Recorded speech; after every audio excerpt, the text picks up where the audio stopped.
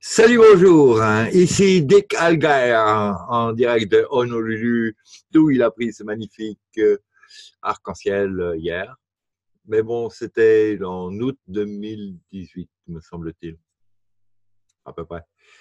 Et, donc, c'est une interview qu'il a eue avec euh, Cliff High, qui était l'inventeur du webboat qui était un algorithme qui permettait de déterminer les événements en fonction des émotions récupérées dans le ton des conversations entre les gens sur l'Internet. Et il a remarqué des pics à l'aube du 11 septembre, il a remarqué qu'il y avait des correspondances. En fait, globalement, les conversations sont influencées par euh, l'égrégore humaine qui prend déjà compte de ce qui va se passer le lendemain. Quoi. On a une sorte de préscience comme ceci, cela. Bon, ceci dit, quand on se doute que nos pensées ne sont pas les nôtres, nos conversations sont induites aussi. Certaines de nos relations pourraient être induites aussi. Il faudra en être sûr. Toujours est-il que donc là, il interviewe Cliff High à propos des mystères du Grand Canyon. Et si euh, on, a, déjà un petit peu travaillé sur le Grand Canyon hein, en remote view. Hein. Je vous rappelle que Dick Algair est euh, un des tenants de la chaîne Crypto Viewing. Ils font du remote view à propos des crypto-monnaies. Euh, ils louent leur service, hein, donc il y a des gens euh, qui a priori en sont satisfaits. J'en sais rien, je suppose. Et toujours est-il que sur son site euh, Crypto euh, enfin il a un Patreon, euh, il a un autre site. Euh, si vous allez sur sa chaîne YouTube, il y a les références de son site autre. Hum, toujours est-il qu'en même temps, ils font aussi des séances de remote view ah, sur des propos divers. Et euh, assez fréquemment, l'un d'entre eux nous sort des trucs qui sont épatants.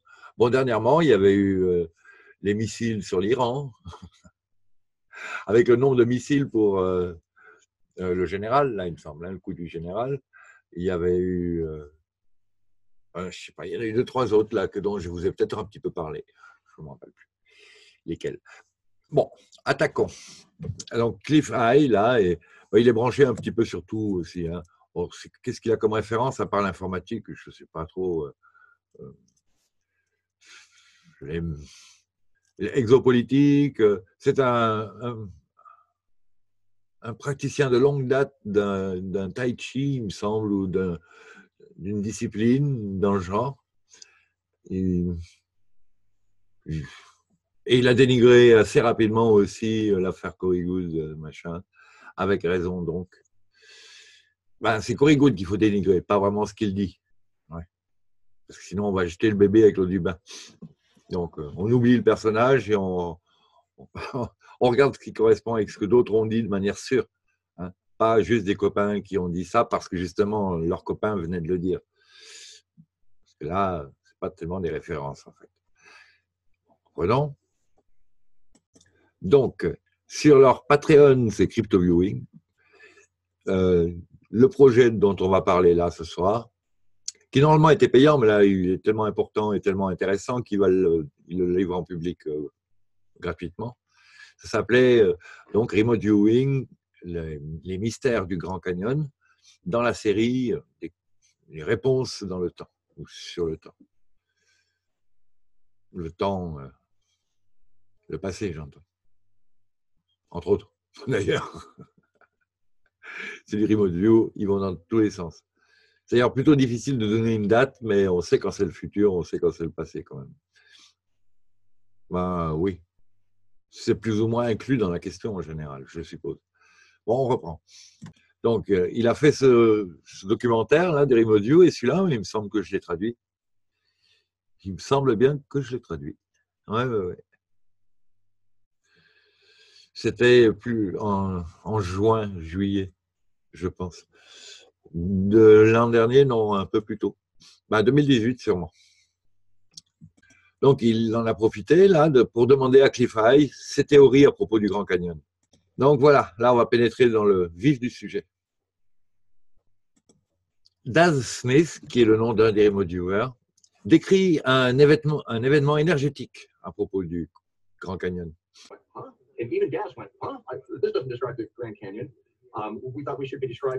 Il décrit donc, là, il l'exprime en anglais. Bon, il y a Dick qui parle par-dessus. Et au tableau, il nous montre un petit peu ce que schématiquement il a, il a ressenti. Et, pendant ce temps-là, Dick nous dit qu'il il s'est passé beaucoup plus que juste l'érosion euh, du grès de la pierre locale par le climat. Donc Cliff High revient de son rire. Il n'y a, pas, a pas de chance que tout, soit, que tout était fait de cette manière-là. C'est vrai que si tout avait été fait de cette manière-là, ailleurs sur la planète, il y aurait énormément au plus de, de, situations dans ce genre-là. Donc là, il ne dit pas qu'il n'y a pas eu de l'érosion aussi. Hein. Entendons-nous bien.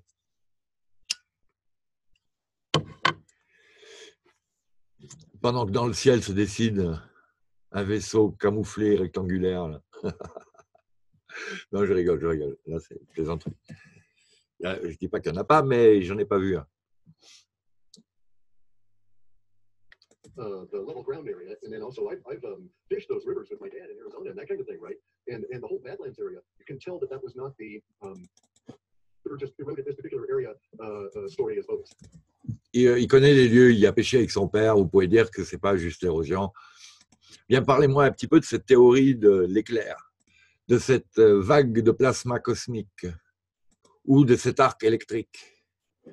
Donc là, l'image n'est pas en HD, c'est bien clair. Hein bah, comme c'est une chaîne où des fois on monte des ovnis, comme ça, ça vous. c'est flou, c'est normal.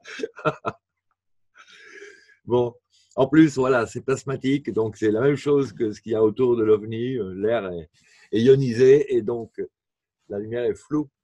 Bon, je plaisante. Donc, ça, c'est une vue aérienne du Grand Canyon du Colorado.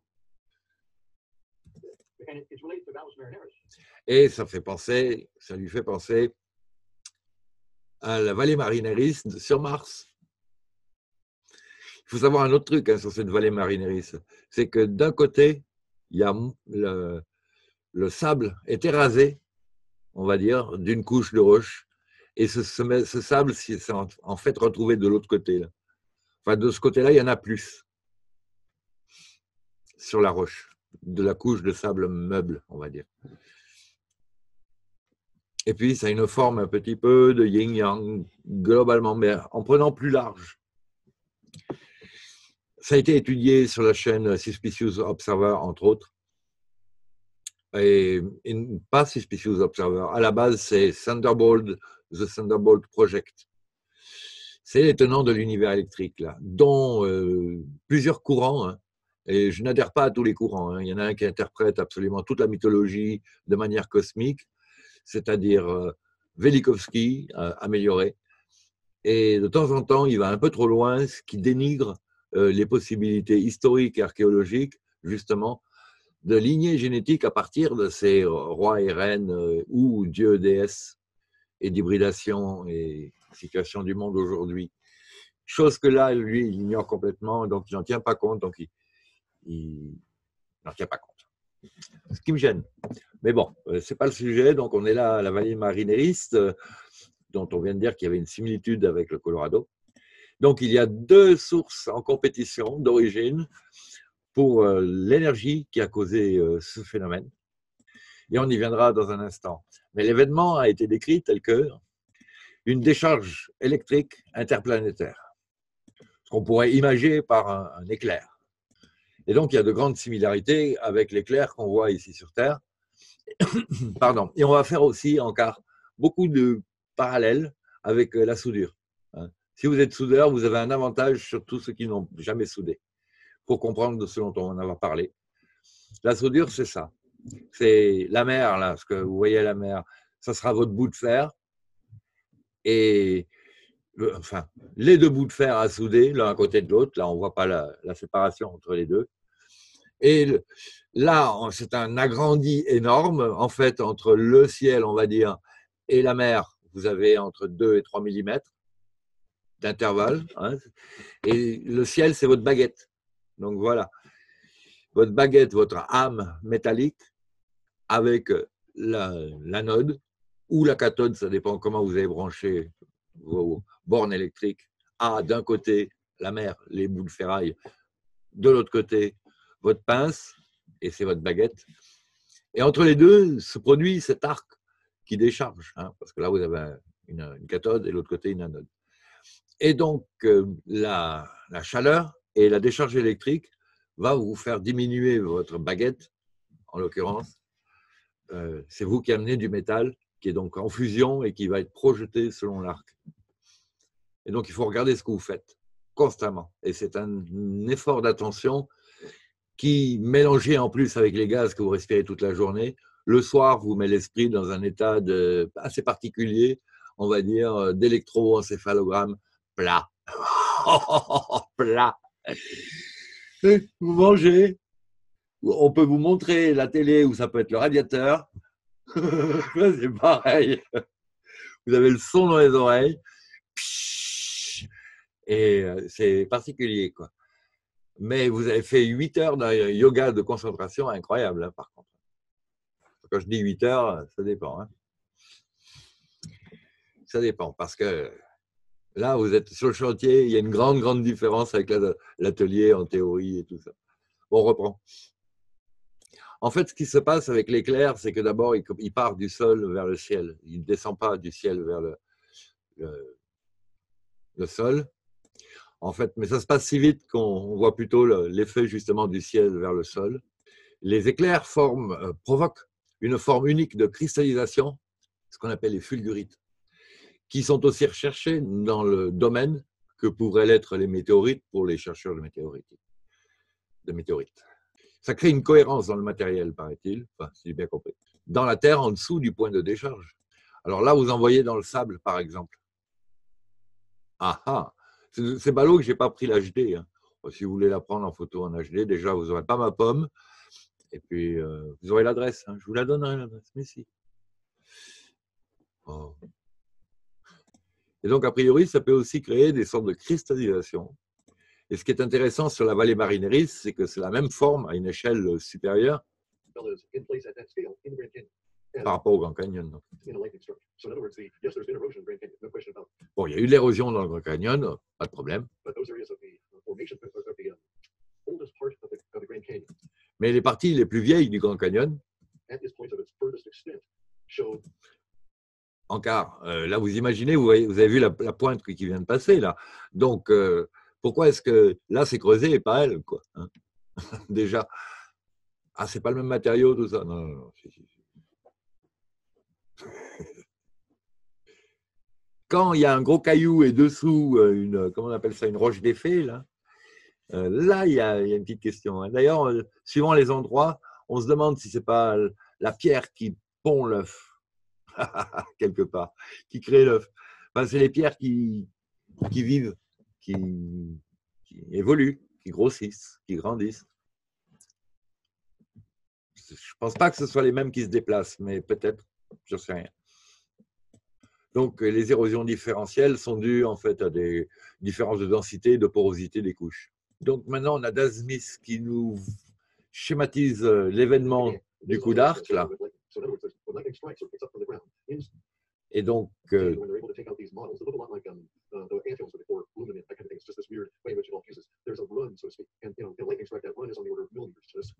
donc un éclair ici sur Terre, c'est plutôt de l'ordre du millimètre, tandis que là, on est dans l'ordre des centaines de kilomètres.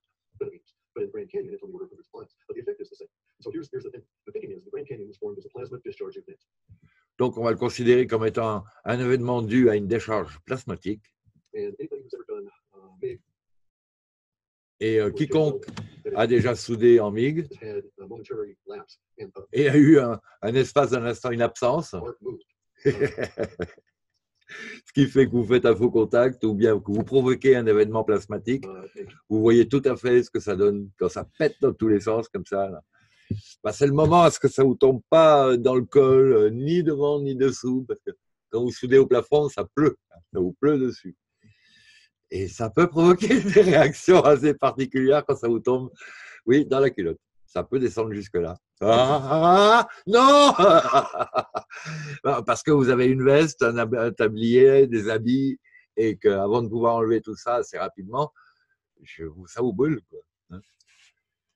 Et c'est peut-être même parfois l'occasion de, prendre un bon cours d'arc, mais bon, là, on ne va pas cumuler, hein, on n'est pas dans ce film où de pire en pire, la situation s'aggrave. Donc, quand vous arrivez en contact avec quelque chose qui n'est pas métallique ou vous arrivez juste à proche, ou des fois des taches de rouille, par exemple.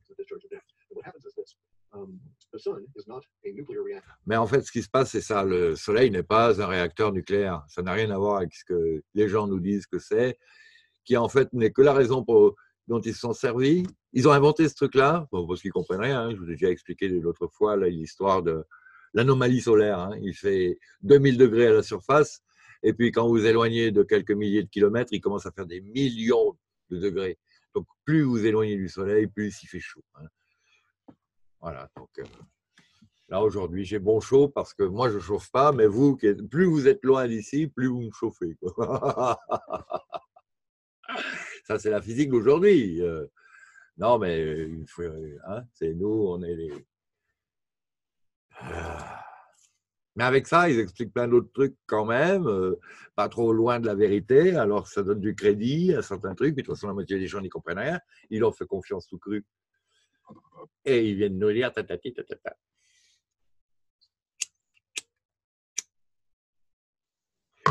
Le, ciel, le soleil, c'est un coup d'arc. Alors, Chris n'en a pas tout à fait la même version que moi et que Suspicious Observer, me semble-t-il, de la qualité du soleil, mais on va l'écouter là parce que c'est vraiment très très proche. Je l'ai écouté en bout tout à l'heure.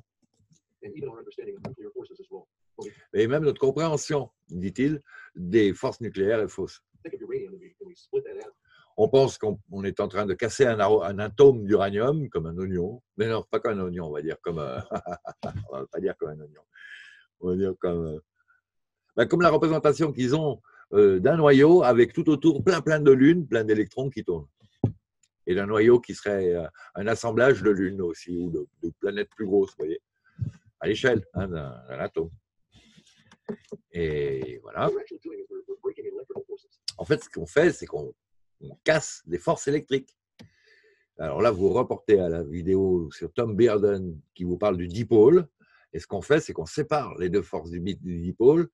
Et qu'à ce moment-là, en plus, il se passe qu'il y a une force supplémentaire qui est créée, qui passe dans la quatrième dimension qui fait son chemin et qui va se, réinsérer dans le circuit au moment où les deux forces du dipôle sont réunifiées. Et en fait, il se passe qu'une partie de cette force de la quatrième dimension, quand elle revient, elle est mal gérée, si j'ai bien compris, hein, elle est mal gérée et actuellement dans tous nos moteurs électromagnétiques, elle sert à nuire à plus de la moitié de l'énergie qui est produite. Et, les mecs, ils le savent. Hein, mais ils continuent les mecs, les, les, compagnies électriques et tout ça. Mais ce n'est pas le sujet, on repart.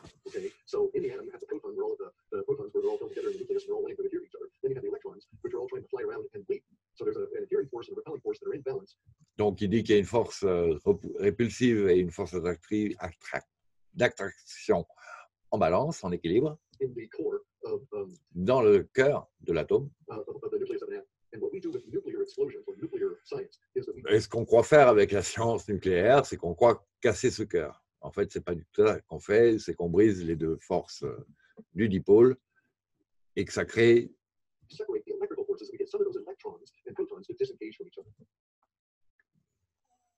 des forces et des sous-forces, en fait. C'est la force la plus puissante qu'on ait dans l'univers, la force électrique. Elle est à plusieurs niveaux de degrés de force supérieurs à la gravité. En car la gravité elle-même pouvant être, euh, a priori, mais ça c'est moi qui rajoute et c'est en cours d'élaboration aussi, une sorte de force électromagnétique faible. Donc il estime que le Soleil est une large masse de, fer et d'or, d'argent, de métaux lourds et d'éléments lourds, y compris certains gaz qui sont euh, solides, enfin liquides sous la haute pression. Mais il n'est pas, il pas question de réaction d'hélium, oxydrogène. ça ne produit pas des radiations nucléaires telles qu'on les obtient sur Terre. Ça, provient, ça provoque des radiations, mais pas celles-là. Ah, quand vous soudez, vous avez une protection contre les UV et contre les rayons X plus ou moins assez rapidement. Quoi. Vous avez intérêt, en tout cas, si vous ne portez pas vos protections, ça va vous griller les poumons et les roustons.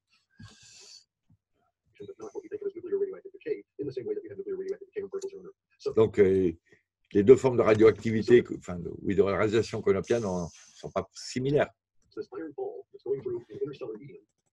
Et donc, cette boule de fusion qui se balade dans le médium interstellaire,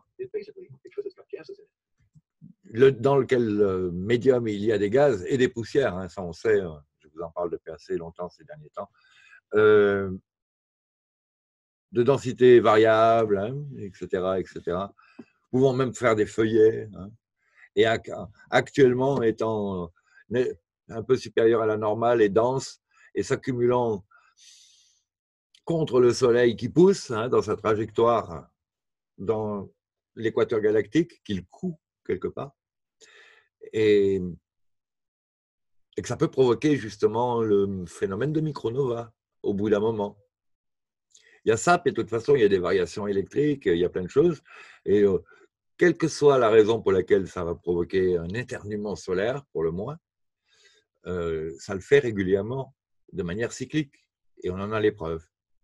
Euh, tous les 12 000 ans. Là, tous les 12 000 ans, il remonte. Et puis, il y a aussi des événements tous les 48 000 ans, et des multiples de 12. Donc, de toute manière, 12 000 ans, c'est le, plus, le PPCM, le plus petit commun multiple. Et là, on arrive au bout. On doit être en 11 998 et quelques années. Un truc dans le genre. Je dis ça au pif, hein, mais bon, presque 12 000 ans. Ou 12 000 euh, et quelques mois.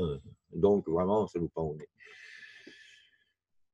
Et ça explique euh, où sont les trillions de dollars, euh, pourquoi ils construisent les bases souterraines, pourquoi ils, ça explique tout ça.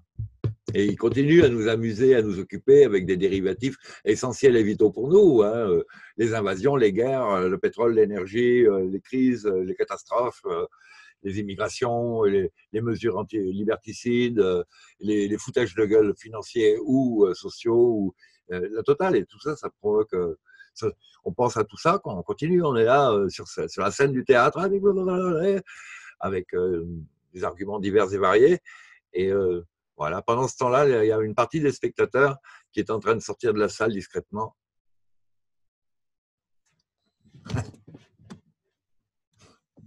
Bon, c'est ma version, mais. Donc, ça nous propose une situation euh, très semblable à la soudure TIG ou MIG, semi-électrique ou euh, au tungstène électrique. C'est-à-dire que vous créez votre arc entre votre anode et puis la base que vous voulez souder, et puis vous apportez du métal qui se déroule dans un fil automatiquement, et dans une atmosphère gazeuse particulière, vous créez cet arc électrique qui fond votre fil d'apport et puis comble les trous que vous voulez combler ou colle les pièces entre elles. Il va nous faire un petit schéma là. Donc il, symbolise le, soleil, d'où s'échappent des gaz constamment. Et ce qui crée tout autour du Soleil une sorte de couche quand même, une sorte d'enveloppe, qui donc est poussée au travers de la, du médium interstellaire par la trajectoire du Soleil. Ça accompagne. Et c'est elle, c'est contre elle en ce moment que vient se frotter beaucoup de poussière. Donc, elle prend une forme d'œuf, là, hein, avec euh, du côté du gros bout euh, beaucoup de couches de poussière, puis euh, le début de l'œuf, le, le, jaune de l'œuf, le soleil, très très proche du bord, et la pointe de l'œuf, c'est le, le, cône suivi. Et nous, on tourne dans ce cône-là autour du Soleil qui lui-même tourne, et tout ça, ça monte et ça descend. En fait, c'est un petit peu hélicoïdal, il n'y a rien qui, qui, est plat ou droit dans l'espace. Tout est en général en, hélicoïde. Et là, comme un éclair au minimum. Enfin, comme les courants de, de qui sont torsadés. Sur eux-mêmes, dans eux-mêmes, sur eux-mêmes, et l'un par rapport à l'autre. La friction contre cette couche autour du Soleil provoque une ionisation. Et ça, ça allume le Soleil de la même manière que quand vous allumez une lampe au tungstène ou un néon. Il y a une charge qui se monte en, milliards de volts ou en millions de volts ou en ce qu'on voudra, j'en sais rien, et ça pète, ça allume. On n'oublie pas que l'allumage, là, en fait, si vous regardez euh, si vous regardez les lumières depuis les infrarouges, votre soleil, il n'y a pas besoin qu'il commence à, être très très très chaud pour déjà émettre des infrarouges, hein, mais ça ne va pas illuminer vraiment. Puis vous continuez à chauffer, à chauffer, à chauffer, à chauffer, vous arrivez aux infrarouges, euh, infraorange, hein, puis infrajaune, là, hein, et à ce moment-là, ça commence à briller. Et puis vous, continuez à faire chauffer votre métal euh, et ou votre gaz, et là, paf, ça part dans les blancs, et là, ça commence. À, ce ne sont toujours depuis le début que des lumières auxquelles se rajoutent au fur et à mesure d'autres fréquences du fait de l'excitation qui augmente de plus en plus de, la source. Mais depuis le début, vous, étiez déjà dans le soleil rouge, hein, on va dire, et puis euh, avant qu'il vous éclaire, hein, voilà, vous avez déjà tout pris. Et, le rouge continue d'ailleurs. Ah, moi, je parle du soleil, ça me réchauffe. D'ici 10 minutes, j'ai soif.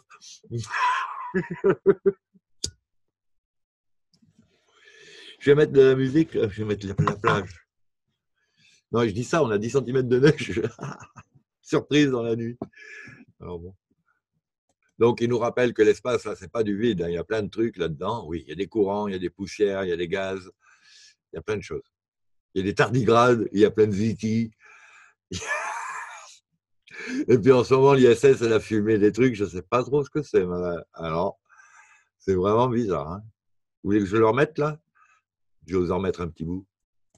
Alors, euh, d'abord, on va se faire euh, autre chose. On va se faire une ombre par justement un des ovnis euh, terrestres, enfin, appareils volants non connus des civils, dont je subodore l'utilisation pour les incendies, là, du fait de la forme de l'ombre. Regardez ça, elle va passer au sol. là, au sol, ce que vous voyez, c'est l'ombre. Vous avez vu ça? On hallucine. Il va nous la remettre, alors bon. Euh.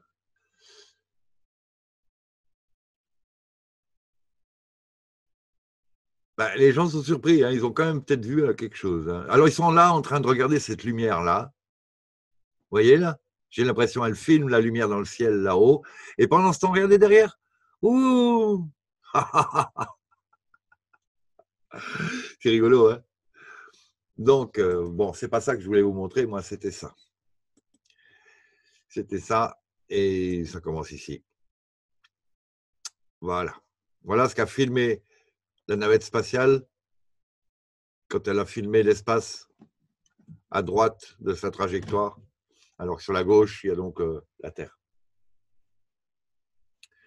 Toutes ces lumières dans le ciel, là, ces points lumineux verdoyants, là, notamment ce gros truc-là, ne sont pas censés euh, exister, ils ne sont pas explicables, on ne sait pas ce que c'est, c'est pas très loin, et ça ne fait pas partie de la carte du ciel, ça se déplace par rapport à la carte du ciel qui est derrière. Hein. Vous voyez des étoiles derrière, là, par exemple, au bout de ma flèche, qui ne bougent pas. Hein.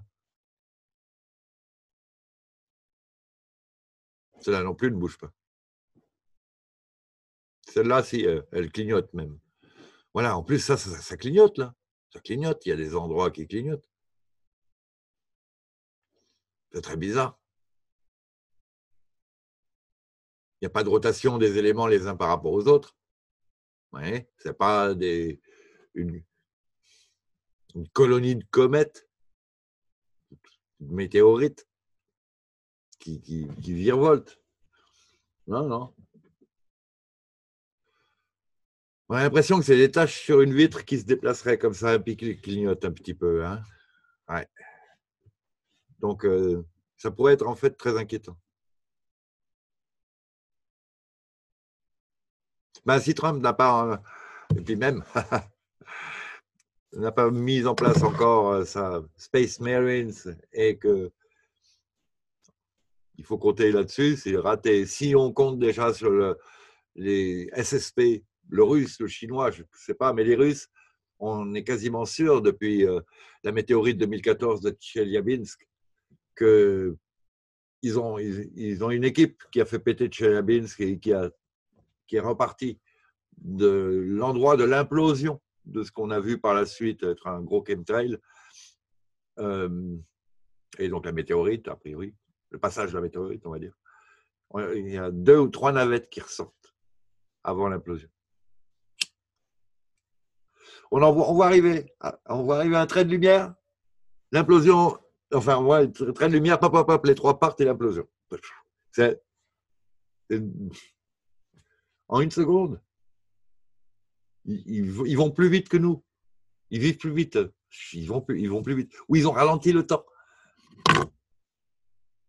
Je ne sais pas, mais euh, ils ont bossé à une vitesse incroyable, incroyable. Enfin, ce n'est pas tout à fait le sujet. Donc euh, là, il se passe encore d'autres choses à la caméra. Ah ben, remarquez que je ne suis pas vraiment obligé de, vous en priver finalement.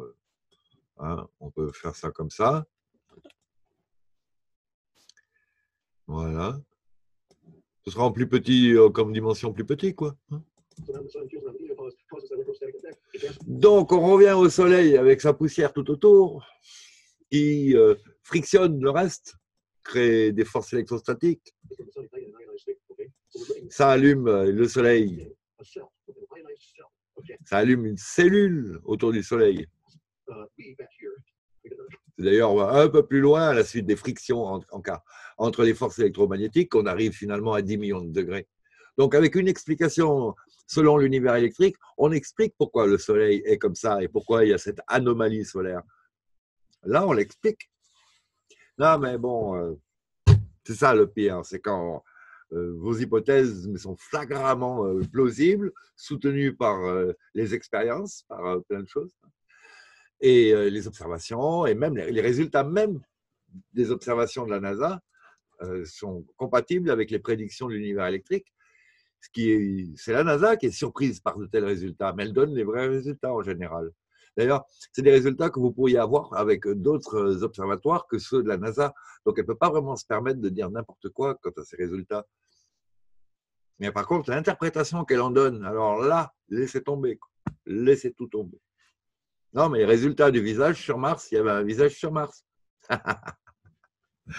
mais leur interprétation, laissez tomber. Voilà, on reprend les premières images hein, du, visage. Parce qu'après, ils en ont ressorti qu'ils ont aggravé. Non, mais c'est pas croyable. Ils se foutent de nous, mais c'est pas croyable. Ils jouent du Photoshop, on leur a rien demandé, on les paye, et ils nous cachent des trucs. Mais ça va pas, non? Ou, ou c'est pas la situation telle qu'on l'imagine? Peut-être que c'est eux qui nous dirigent, en fait. Ah, à la suite du projet Paperclip, entre autres. Ah, ce serait pas idiot de relire les vidéos de Jim Mars, montée du quatrième Reich aux États-Unis d'Amérique. Ben, c'est une partie du SSP, hein, en tout cas. Il n'y a pas que Jim Mars qui dit ça, enfin, qui disait ça. Bon, euh, Thomas Williams dit aussi que les nazis ont, la partie euh, dévouée au Black Sun dans le Black Program. Bon, pas le sujet tout à fait.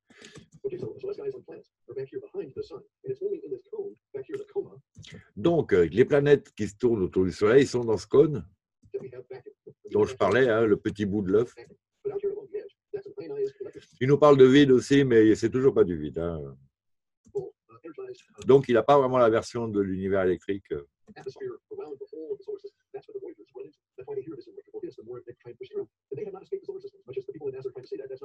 Euh. Alors, c'est pour ça a, pour lui, il n'y a pas de planète X, euh, parce que sinon, euh, une planète en plus crée des, phénomènes électriques, entre autres. Bon, il y a déjà les mêmes phénomènes là entre nous, entre Mercure, Vénus, la Terre, Mars. Il y a des. C'est d'où l'importance des conjonctions. Et en même temps, avec, à collaborer, à corroborer avec les agitations solaires propres au Soleil, envisager leurs répercussions en tant que tremblement de terre sur Terre, explosion volcanique, à la, euh, éruption à la limite, mais aussi euh, le climat. Le climat, le déclenchement des cyclones et tout ça. Et à partir de là, les gars euh, à Arp et ailleurs, ils augmentent. Au lieu de freiner ça, ils l'augmentent. Parce que le but du jeu, de leur côté, ce n'est pas de nous faciliter la vie, au contraire, c'est de nous freiner dans notre évolution. Parce que dès qu'on évolue un peu, on est au courant de ce genre de choses qui fait qu'on se demande qu'est-ce qu'ils foutent, quoi. Non, mais ça va pas. Ils nous empoisonnent, ils se foutent de nous, on paye pour en plus. Et si tu ouvres ta gueule, tu meurs. Ça ne devrait pas le faire, ça, normalement, dans la tête de quelqu'un normal. Si je ne me trompe pas, ni dans la situation, ni au niveau de la normalité. On continue.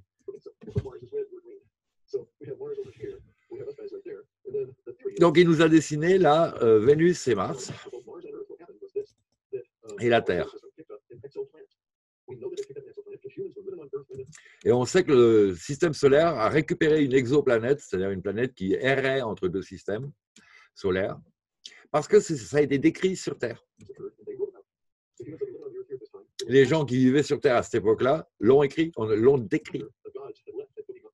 Alors, les dieux de l'époque, c'était l'époque où ils étaient partis en plus. Euh, ils sont partis parce qu'ils se sont dit bon, on s'en fout les esclaves là, euh, ça va chauffer, barrons-nous. Ils ont bien eu peur pour leur santé. Ben, une micronova solaire, à la limite, ou ce genre d'événement qu'on va décrire là, euh, ça dépote. Hein. Carrément ça dépote. Même les IT protégés, enfin, il n'y a plus rien d'autre à faire sur place d'ailleurs. Hein. Il y a sûrement d'autres pays vertes à ce moment-là à aller brouter. Eux, ils ne vont pas se gêner en tout cas. N'oubliez pas qu'ils nous font faire tout ce qui, a, dont avant ils avaient la charge, euh, et puis s'occuper du troupeau, c'était trop chiant, donc ils se sont débrouillés pour que le troupeau s'auto-occupe de lui-même. Et maintenant, on survient à notre, à notre survie par nous-mêmes. Je pense que c'est là qu'avant, au Jardin d'Éden, tout allait bien. À table, ah ben, allez Ève, on va bouffer un coup. Euh, voilà. Alors euh, là, c'est bon, cool. Quoi. Et puis on n'avait pas le problème d'accoucher, hein, puisque ça ne venait pas à la tête, on sortait de tube à essai. Comme nos géniteurs, qui eux-mêmes se la jouent, euh, on est vos créateurs, mais un, ont hacké l'espèce qu'il y avait localement, ils n'inventent pas la vie, ils la transforment. Ils n'inventent pas. J'ai bien l'impression. Pour ça qu'ils ne tiennent pas tellement à mourir aussi, en fait. Qui flippent aussi. On dirait qu'ils flippent. Je sais, je sais. J'ai pas le niveau là, parce que là, il faut du QI, QI, quoi. Et QI, QI au carré, même, peut-être, euh, voire au cube, voire euh, au QI. oui, vous savez, les grands nombres. Voilà. Bon, c'est pas le sujet. Alors, euh, où en étions-nous Oui, oui, et eux-mêmes s'entendent débaisser, etc. Reprenons. En Équateur, au Pérou, cette histoire a été écrite de l'arrivée de Vénus. Euh, Vénus tourne dans le sens contraire de toutes les autres planètes autour du Soleil. Hein. Donc, dans de différents langages, ils ont, ils ont décrit le même événement. Avec donc les mêmes perspectives, mais c'était le même événement. Ah, j'avais oublié que pendant ce temps-là, on avait le cinéma cosmique.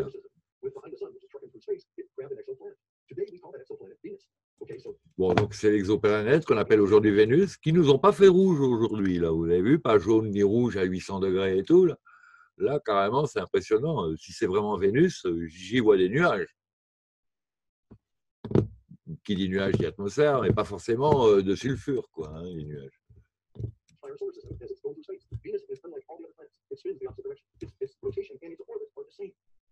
Alors, il nous dit que sa rotation et son orbite sont les mêmes, en sens inverse. Oui, en tout cas, c'est à l'inverse de nous. Hein.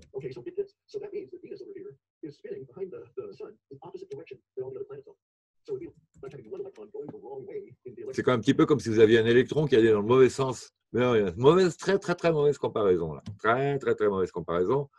Notre atome, c'est un oignon, hein, et ce qu'on sépare, c'est un dipôle. C'est des couches de dipôles, en fait. Oh, c'est la folie.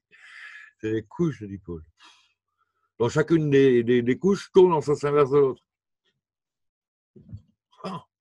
ah, mais c'est passionnant, hein. c'est vraiment passionnant à concevoir, à imaginer et à remarquer qu'un courant électrique, finalement, C'est la même histoire quasiment au centre, mais là, ce coup-ci en cylindre et non pas en sphère. Ouais, et c'est pour ça que ça la force la plus incroyable qui puisse exister. Rendons hommage, mes frères et sœurs, je déconne. Ah, vous étiez à deux doigts, là, je fais la quête, tout le monde vient prendre une hostie, un coup au bar et tout. Ben, j'ai du blanc.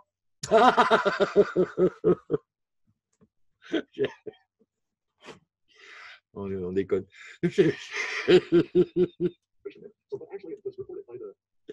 Il n'y en a plus.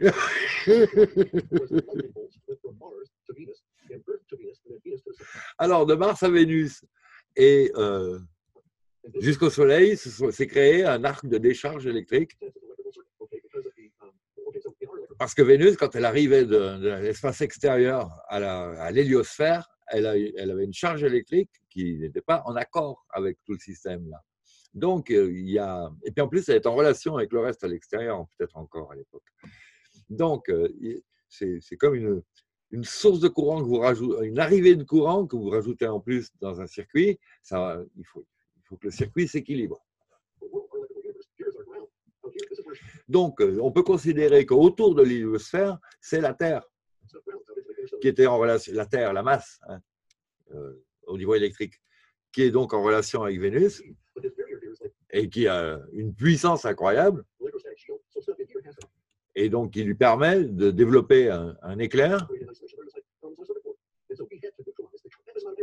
qui a dû se faire neutraliser. Mais ça a pu durer un certain temps avant qu'on y arrive. Enfin, qu'on y arrive, c'est un équilibre naturel, a priori. Je ne mets pas l'intervention de Ziti là au milieu pour l'instant. Je ne sais pas d'où arrive Vénus. Si ça se trouve, c'est l'intervention de Ziti, j'en sais rien. N'oubliez pas que sur Vénus, il semblerait qu'il y ait des bâtiments. Hein, et que même si c'est à 800 degrés là, pas possible qu'avant, ça ne l'était pas. Et c'est de toute façon possible qu'habitent à son bord des entités qui ne soient pas dans la même densité que nous, comme les densités que veulent atteindre les savants du CERN, ce qu'ils ont admis eux-mêmes. Hein. Ce n'est pas moi qui délire, c'est eux-mêmes qui ont dit nous allons ouvrir un portail vers la quatrième dimension et nous ne savons pas trop ce qui va en entrer ou ce que nous allons pouvoir y faire passer. Voilà. Et a priori, sinon, ils vont pas y arriver. Mais bon, euh, quand ils font ça, ça développe un, un champ électromagnétique euh, qui, peut rentrer en compétition, on va dire, euh, avec celui de la Terre, un peu possiblement. Possiblement. Je ne sais pas vraiment. Hein. Peut-être que j'exagère un petit peu là, mais je, je pense qu'en fait, il n'y a pas qu'un seul CERN, il y en a d'autres. Et je pense que quand ils font leurs expériences, là, s'ils se mettent en harmonie les uns avec les autres, en conjugaison de phase, ils peuvent faire des trucs très forts. Enfin bon, je dérive un peu. Reprenons.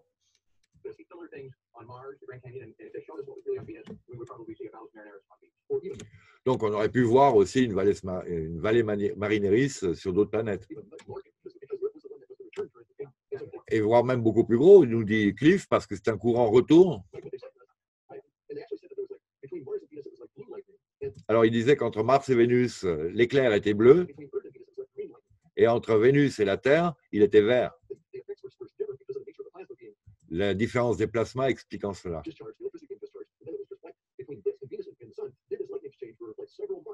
Et pendant plusieurs mois, entre le Soleil et Vénus, il y a eu un échange d'éclairs.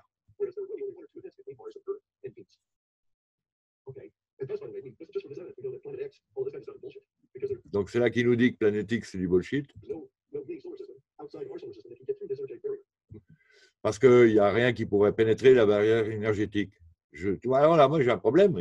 Vénus vient de le faire, mais euh, une autre ne le ferait pas. Moi, ça me pose un problème. Hein. Je ne comprends pas pourquoi euh, là, d'un coup, ça ne va plus. Il nous dit que tout dans le système solaire ne cesse de circuler comme ça, euh, y compris les comètes. Bon, paf. Alors, grosse erreur, hein, parce que même, ah, ou moi, moi, en 2018, là, je crois qu'il était déjà passé, non? Ou il allait le passer? Ah, peut-être qu'il n'était pas encore passé. Non, parce que ce machin-là, euh, c'est pas un truc qui tourne autour du Soleil, a priori, normalement. Et de toute façon, comme en plus, il est reparti avec une trajectoire à une vitesse différente de celle qu'il aurait dû avoir, il, on ne sait pas trop s'il n'est pas encore un peu habité. Et il y a eu une séance de remote view dont j'attendais la diffusion, mais que ça vient pas, du Farsight. il me semble, c'est du Farsight Institute. Ça vient pas, je crois qu'ils veulent nous faire payer d'abord, ça viendra dans six mois, quoi. Euh, qui disait qu'on on, devrait être très content qu'en fait, euh, il, soit a priori inerte. Ouais, c'est un engin de mort, quoi, a priori, ce truc-là. Le genre de truc qui peut détruire une planète, euh, sûrement. En fait, un Tesla pouvait détruire la planète aussi, donc il n'y a pas besoin d'être sur un porte-avions, si ça se trouve, hein, pour détruire une planète.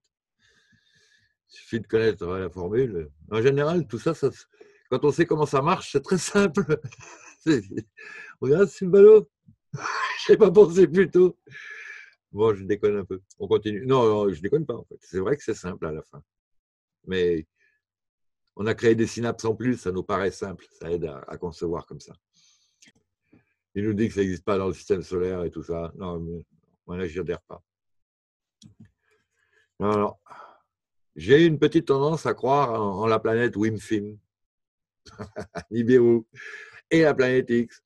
Et il semblerait qu'il y ait plus de 40 exoplanètes dans notre système solaire dont on ne nous parle pas beaucoup, mais dont certaines sont déjà peuplées. Ils en découvrent sans arrêt. Si ça se trouve, il y en a d'autres qui arrivent. Ouais, ouais. Et puis elles font pas le même scandale que Vénus et on voit rien du tout. Elles vont skier derrière Jupiter, au-delà de la barrière euh, d'astéroïdes, de, la ceinture d'astéroïdes, qui était une planète à l'origine. On se rappelle qu'on a fait un, ou deux remote sur ce sujet c'est les planètes que les gens appelaient Tiamat.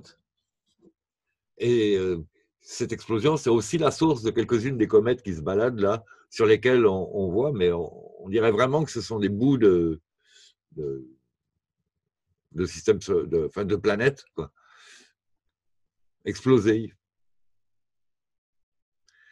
Et puis, il y a eu beaucoup d'eau qui a plu aussi pendant un certain temps. Et je pense qu'on peut imaginer qu'effectivement, on s'est pris une, une, pluie, mais qui venait de la planète d'à côté, en fait, dans le genre. Hein, vous imaginez un océan dans, dans l'espace? Bon, reprenons.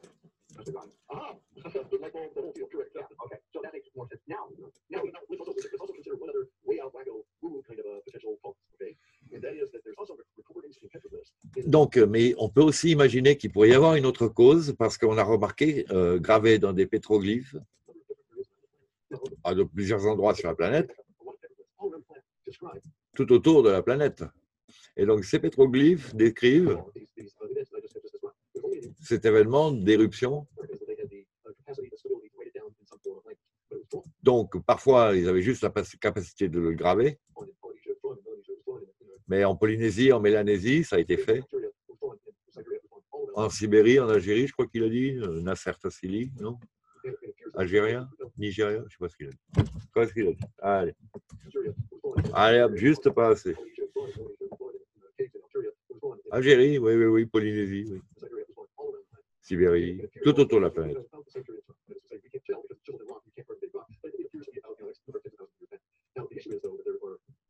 Peut-être plus ou moins à la même date.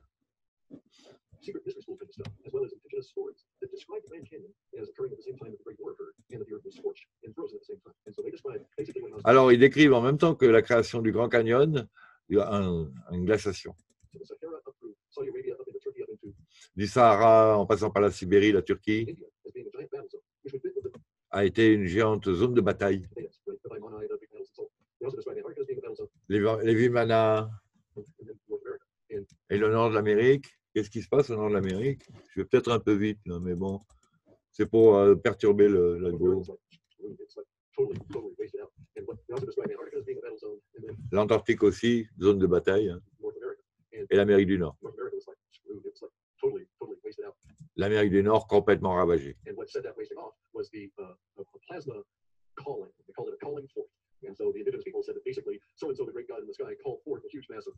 Et les indigènes euh, imageaient de, comme un appel du ciel cet effet plasmatique qui a propulsé la terre du Grand Canyon en l'air. Mais bon, euh, c'est la version indigène. En fait, nous, on sait que c'est. Euh, ça suivait, on ne voit pas l'énergie, on, voit l'effet qu'elle a sur la poussière. Quand vous baladez un aimant au-dessus d'un tas de limailles, vous ne voyez pas les champs magnétiques, mais vous voyez l'effet sur la limaille.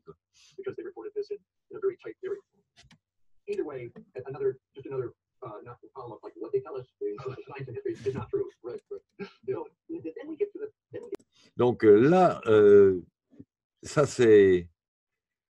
Ah ben ouais, ouais, ça, ça, c'est le bout que j'ai fait aussi, il me semble, hein, la librairie d'ADN, les trésors, le vie- le- l'ancien.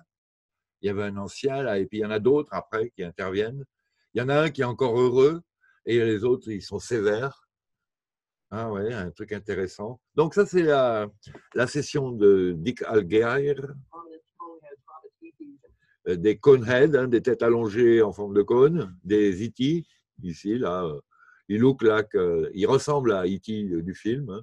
on not Euh, E.T. du film, il, a, il est en différent, en plus gros, on va dire, euh, la même gueule que les petits personnages qui sont avec les momies de Nazca, enfin pas momies, les corps desséchés de Nazca, pour être précis. Euh, pour ceux qui ne savent pas, c'est pas le même euh, cérémonial. Ce qui s'est passé avec ces corps-là et ce qui se passe pour une, momie dont on enlève les organes et tout. Ces, corps sont entiers. Il y en a un qui a encore les œufs dedans. Ah oui, c'est ça. Ils, ils sont humanoïdes, mais ils sont ovipares.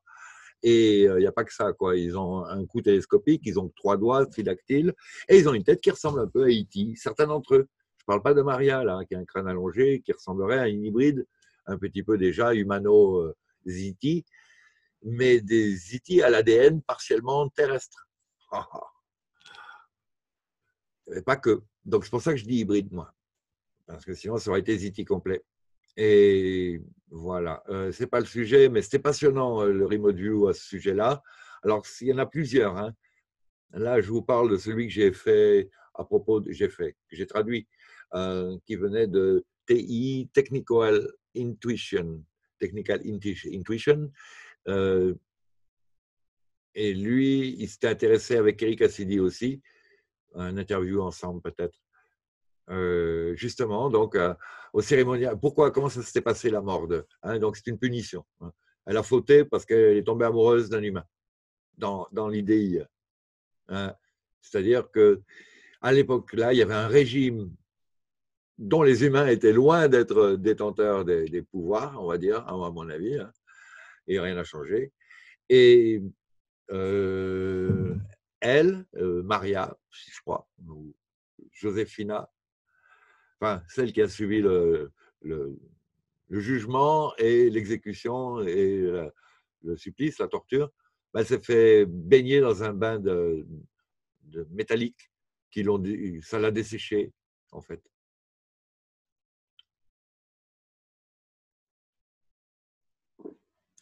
Une sorte, de réaction osmotique inversée.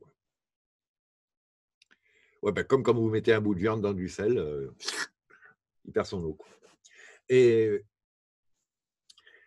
ouais, ça prend trois semaines, mais il le perd. Alors, euh, quoi d'autre euh,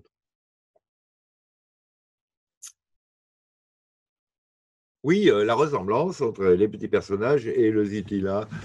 Bon, qu'est-ce qu'il dit d'autre? So, in my looking, you know, my analysis of that is Donc, il pense qu'il y a eu plusieurs civilisations ici. Donc, lui, il nous dit euh, des petits hominidés, les coneheads, des hobbits,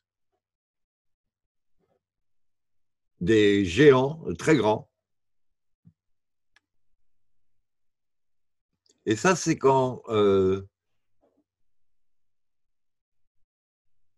The Curtain Road crashed in massage. Alors là, j'arrive pas à voir ce que ça veut dire.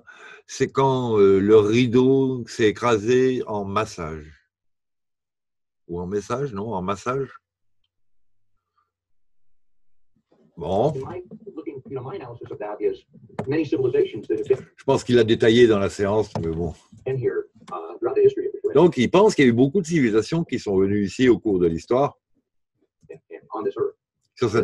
I would, that. There would be some level of that because of the uh, forgotten uh, lore that comes from space. Cliff that there were uh, signs all over North America of um, well-traveled um, population, and we used to have all these still. Uh, these big, Alors, uh, uh, il pense que les civilisations se déplaçaient. well, they're, yeah, but there wasn't wood. There was cement, or there were um, stone, and there were there were uh, hundreds of. I know of a manifest. I read a manifest where the guy was was a sailor ship. and He was broke.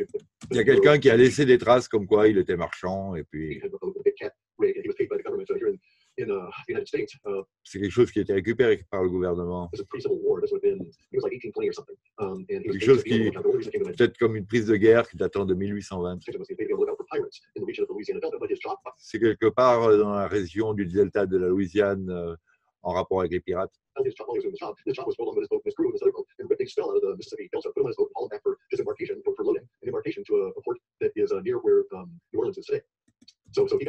Et ça a été ramené vers un port de la Nouvelle-Orléans aujourd'hui.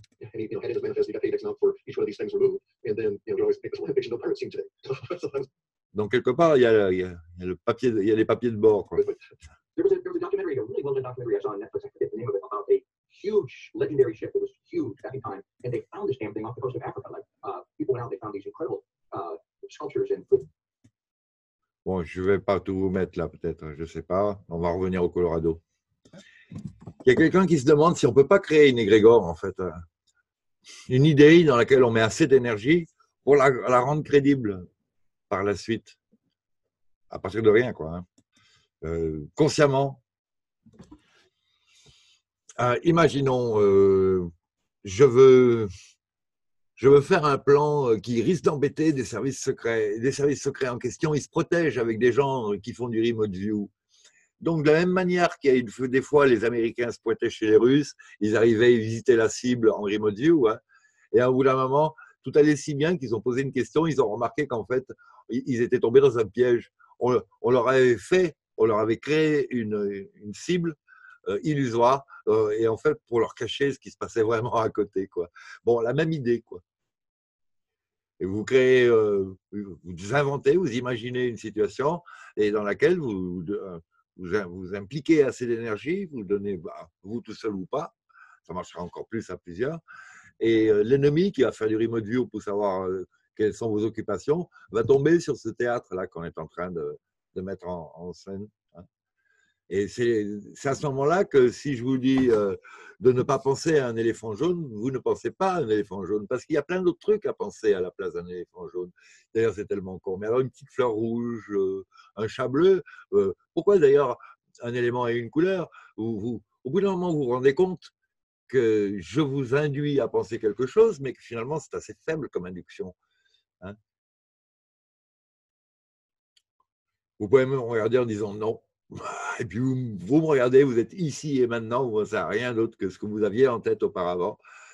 Non, non, l'idée que comme quoi, ah, si on vous dit, vous pensez, vous ne pouvez plus faire autre chose que, ben non. Moi, je ne suis pas sûr du tout que ça fonctionne. En tout cas, dès qu'on a un petit peu de, de conscience de ces choses, au moins, tous ces événements-là, tous ces, voix qui vous passent par le crâne ou ces inductions subliminales, ne passent, passent beaucoup moins ou ne passent pas suivant dans quel état de conscience vous êtes. hein. Alors, il y en a au moins deux. Il y en a un qui est mis en évidence par toutes les sectes, en fait, et les religions, en disant si vous êtes en liaison directe avec Dieu, là, en général, vous êtes intouchable. Et je dois concevoir que oui, mais à ce niveau-là de liaison directe, justement, euh, c'est le truc que les gens, dont les gens nous parlent parce que c'est tellement rare ou tellement difficile et que c'est de toute façon pas avec la méthode qu'ils vous proposent que vous allez y arriver, que voilà, ils prennent pas de risques. Non, parce que si vous y arrivez, vous n'avez plus besoin d'eux. Donc, c'est pas le genre à faire ça, quoi. Vu leur but, vu leur, vu leur but en général. hein. Um, uh. Alors, quelles que soient les entités qui nous posent ces problèmes, il y a des fois où les remote viewers se sont confrontés à des masques, à des, des caches devant leur cible. Et il y avait des entités qui leur disaient Papa, Tu rentres pas là. Et puis il y a des fois où euh, le gars, euh, ah ben, l'entité l'a pas vraiment interdit de rentrer, mais quand il est rentré, l'entité l'a suivi chez lui. Et euh, ça, c'est justement euh, Technical Intuition. Il nous a dit protégez-vous et tout ça.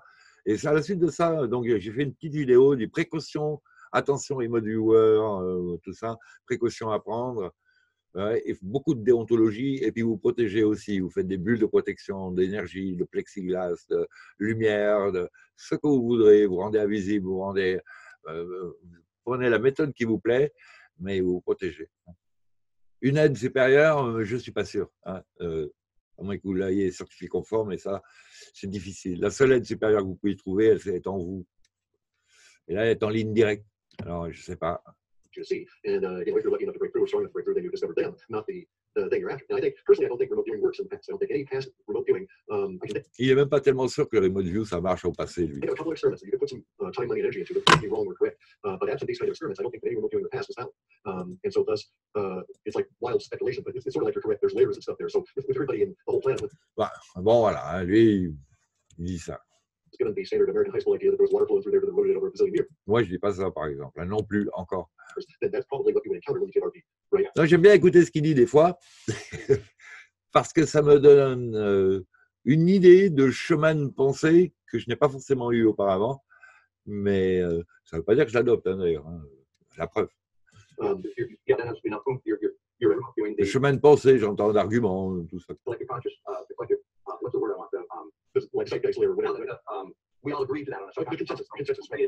Alors, quand il y a des gens qui ont un consensus, qui sont d'accord sur une idée, ça peut être une idée fictive et ça crée donc euh, une sorte d'égrégore. quoi. there's, there's other aspects of that too, and that is that uh, our minds cannot fail.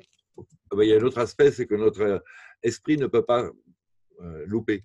Okay, so this is something I've never seen in any discussion of uh, Ingo Swan's writings or anybody else's, uh, qu'il n'a jamais vu cet argument développé qui- par euh, ni Ingo Swann, ni euh, euh, Russell Targ, qui sont d'autres remote viewers, hein, des pointures. Il y en a eu des pointures, hein, il y en a eu d'autres d'ailleurs dont on n'entend plus, parler. Ah oui. Ouais, alors j'espère pour eux qui sont euh, en, en week-end sur Vénus dans leur euh, mieux que TR3B euh, ou, à- ou dans le genre, parce que sinon ça signifie que pareil, quoi. Ils ont finalement été au courant de trucs que personne ne devait savoir. Personne ne devait savoir ça. Et là, trop fort, c'est trop fort. Tant pis, il était bon, mais il est trop dangereux. Et s'il me communique ses renseignements à un autre, hein, mentalement, ah, ah, ah, j'ai comme qui dirait l'impression que je viens de trouver une, porte de sortie immédiate. Ouais, c'est la diffusion en live au club privé peut-être, mais à plusieurs. De toute façon, la présence en live à plusieurs sur les lieux et tout ça. Oh, bah. Faut voir si à plusieurs on n'arriverait pas à passer ses caches. Mais attention, hein, euh, je parle là de trucs que je ne connais pas vraiment dans la pratique. hein. Quand vous revenez à la maison, que vous êtes un professionnel, que vous revenez à la maison et vous ramenez des entités qui commencent à faire des poltergeists, euh, il sait, chérie, euh, fais des bagages. euh. On va plutôt reprendre le ranch à, à Biglow, là. C'est plus calme. Skinwalker Ranch, oui. computing reality, digesting information, processing, processing units to say this is what leads us to um, delusion, because it will supply to us a delusion in, in order to not fail. Ah, voilà. Alors lui, il pense que, voilà, euh, plutôt que de se tromper, le cerveau va nous donner une illusion. So as a programmer, when I write a little routine, I, I have a binary option, you know, return success or return failure. And so I can have routines fail, but in the process of learning programming in the 90s, 80s and 90s, at a serious level, whereas when optimization, this kind of thing, I thought about the nature of the mind, and never Quand il pensait à la nature de l'esprit dans les années 80-90,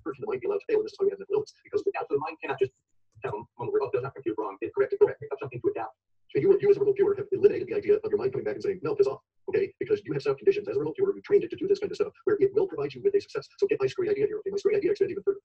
ah, ça m'embête de traduire ça. euh, je suis pas d'accord, mais bon. My screwy idea is that you're actually contacting Higgs' consciousness and sucking out what your mind needs to suck out in order for you to have Il nous dit qu'on triche, hein, notre cerveau triche. Your, your technique is beautiful. I tried it. I was shocked at the results uh, on your little sample thing. I got a lot of the, the I won't, you know, won't betray that, but I got a lot of the elements there. Il était Uh, agréablement surpris par la technique euh, de Dick.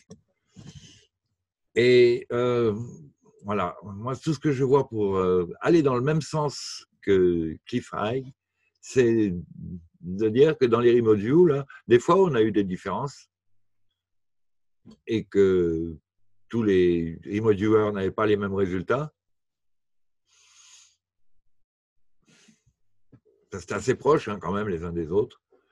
Et puis, ce qu'on nous montrait des séances, hein, ce qui nous montre du Foresight, c'est une séance au bout de tout un travail de, de- préparation du sujet. Elles, ont fait le travail par écrit, elles ont fait le travail euh, différemment, et euh, elles, refont. Parce que plus euh, on travaille sur un sujet, plus il devient précis. Donc, on nous, mon- on nous montre le plus abouti possible. quoi.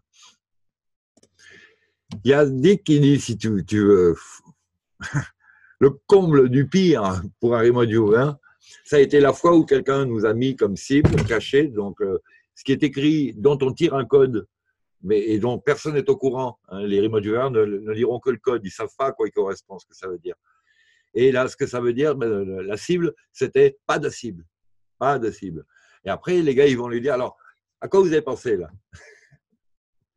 Don't do that to me. I sit down for an hour and work my ass off, Et il était fou de rage. Il disait, mais me faites pas ça, ça fait une heure que je suis là à tourner en rond, and it's linked to nothing. et c'est- ça a un rapport à rien. You know, I made up a bunch of shit. Just your ego's involved. Like, well, I gotta get something. I'm having an off day here, but it's gotta be something. Well, okay, all right. So Et il cherche, il cherche, et il n'y a rien qui vient. C'est très, fort, parce qu'en fait, il a trouvé. Seulement, c'est l'endroit où on finit par réfléchir ce qu'il ne faut pas faire en remote view. hein. On ne doit pas interpréter euh, les résultats.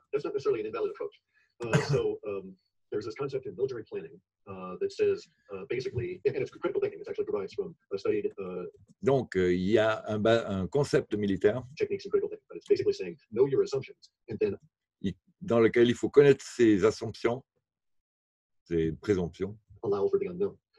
et il faut permettre euh, l'inconnu. So what they were doing was uh, faut en tout cas admettre qu'il y a des choses qu'on ne sait pas. On ne sait même pas qu'on ne sait pas ces choses-là. allow for the unknown. That basically was saying if we don't tell them to fixate on a target, Alors, si on ne leur dit pas de se, figer- se fixer sur une, tar- une cible, what interesting thing are we likely to see just because they're out there casting around But yeah, you cast your net on finira par voir que n'importe quoi. the- Oui, ça, c'est Cliff qui défend l'idée que le cerveau veut toujours avoir raison et te permettra de ne pas avoir tort. quoi. Exactly, exactly. See, there's Quand j'argumente avec moi-même, je me rends compte que oui, mais je sais pas lequel c'est qui va avoir raison, alors c'est cool. c'est qui gagne a raison. Euh, C'est idéal. there's my problem with it is that you don't have a inbuilt um, a null state or a return failure that you can go to. So what you, what you should have had was uh, responded in those circumstances. You should have had an option in your brain to say, you know, this isn't making sense. Let's go to our default null. Oui, mais euh, Cliff, euh, donc, il défend encore le même argument, comme quoi il vous faut garder une, idée comme quoi votre view est faux. Alors, euh, enfin, à la possibilité d'être faux. Ah ouais, c'est l'antithèse de, croire en ses capacités et ce qui les décuple et les concrétise. Tu vois. Il nous met le germe contraire. Et, mais ça se trouve, ça peut ne pas marcher. c'est bizarre. hein. Voilà, voilà, voilà, voilà. Euh, non, mais c'est catastrophique. hein. Donc, ils pensent que le futur vient vers nous de manière touffue, avec plusieurs couches, et qu'il y a là un rapport avec euh, nos niveaux énergétiques. Donc, il y a une connexion et qui, se ressemblent ensemble. Après, il faut concevoir aussi le corps énergétique généralisé de tout le monde. Ouais. Ben, tant qu'il est dans l'état où est l'humanité aujourd'hui, on ne fait pas grand-chose. S'il était unifié, je pense qu'on empêche le soleil d'éternuer. Carrément. Oui, non, parce que quand un courant va dans un sens, euh, il, va dans l'autre. Il passe par nous, on peut influer. On peut démultiplier euh, le sien. On, lui fait passer la Rodin Coil. c'est un multiplicateur grâce à Phi, grâce à quelques connaissances comme ça. Et on transmute en- en énergisé. Mais bon, il faudrait faire ça tous ensemble, avec le sourire, et puis à bon, à bon, à bon escient. Quoi. Mais rapidement. Je- je- Uh, my way of thinking in terms of how time works means that uh, time travel is, into the past is impossible. And even consciousness Alors là, euh, bon, il enchaîne parce que voilà, euh, c'est le travers de ce genre de discussion. Il faut absolument rester sur, sur nos bornes parce que sinon on commence à faire des encarts. bon, il est parti sur le, voyage temporel. Il dit qu'on peut pas aller dans le passé. Enfin bon, euh, ça parle dans tous les sens. il va sûrement trouver des arguments, mais bon, nous, on va s'arrêter là parce que, un, c'est pas le sujet, et de deux, je suis pas d'accord avec lui. Le, jour où le, le voyage temporel a existé, tu te rends compte qu'il a existé de tout le temps. Par simple logique, quoi. Et le paradoxe, c'est qu'on ne le voit pas. Mais bon, il y a plein de gens qui commencent à quantiquement parler, parlant, euh, se trouver dans le futur, la version 2, qui a la solution au problème euh, actuel, et euh, ils l'implantent dans le présent, et ça répare, et ça marche. Ça s'appelle, je sais pas, le surf quantique ou je sais plus comment. Bon, euh, il faut voir, hein, euh, il faut voir, je sais pas. C'est le cerveau, notre cerveau, il est, il est costaud, il est très très costaud. Alors, il se débrouille, peut-être qu'il nous fait pas dire ça comme explication, peut-être que c'est la machine, l'intelligence artificielle qui nous fait dire ça comme explication. Et bon, c'est possible, c'est peut-être des entités. Ça va loin. Je vous remercie d'avoir suivi. Je ne pense pas que je vais continuer beaucoup plus là-dessus. Donc voilà, le Grand Canyon, un grand coup d'arc.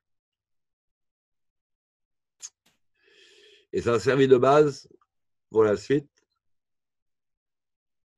pour euh, certains explorateurs, pour creuser des grottes et faire des artefacts comme les Wingmakers et plein d'autres.